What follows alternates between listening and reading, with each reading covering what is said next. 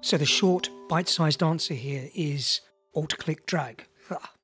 So Avid has this feature where if you click on this small grey panel below the dark grey timeline bar, you can click and drag and it will let you lasso any element that falls within your marquee.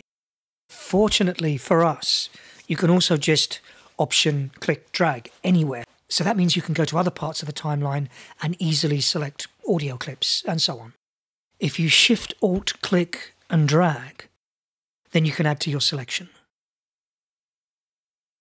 When you're lassoing, any segments of filler that fall within your selection will also be picked up and selected, which, unless you're using them as an adjustment layer, can be annoying because they can overwrite other clips when you move your selection. So to avoid this happening, go File, Settings, then User, Timeline, then Edit. And in there you can turn off Select Filler with segment tools. So now when I Option click drag and lasso, you can see it's not selecting the chunks of filler as well now.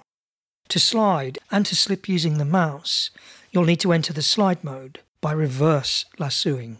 So Alt click drag, but from right to left and from bottom to top.